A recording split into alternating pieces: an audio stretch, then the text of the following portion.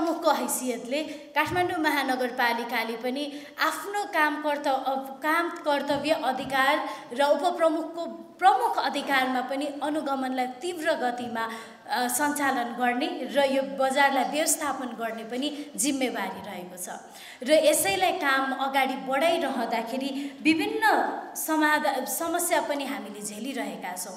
स्थानीय सरकारलाई अनुगमनको अधिकार दिएको छ तर कार्यान्वयन गर्नलाई हात बाँधिएको छ।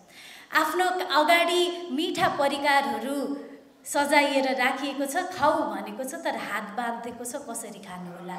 र यसका लागि पनि आवश्यक कानुनी कानुन पनि हामीले बनाउनु पर्ने हामीले महसुस गरेका छौँ।